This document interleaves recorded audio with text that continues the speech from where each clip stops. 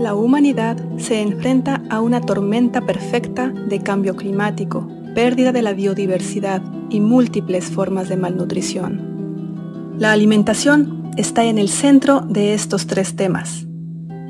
Para sobrevivir a esta tormenta, necesitamos reposicionar a la variedad y diversidad de alimentos como el centro de la alimentación saludable.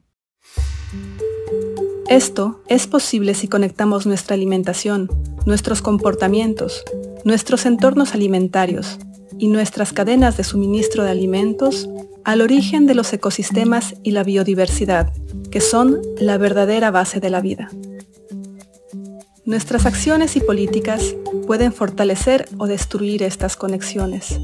Para mantener todo conectado, necesitamos asegurarnos de que nuestras acciones y nuestras políticas respondan en conjunto al triple desafío de mitigar el cambio climático, restaurar la biodiversidad y asegurar una buena nutrición.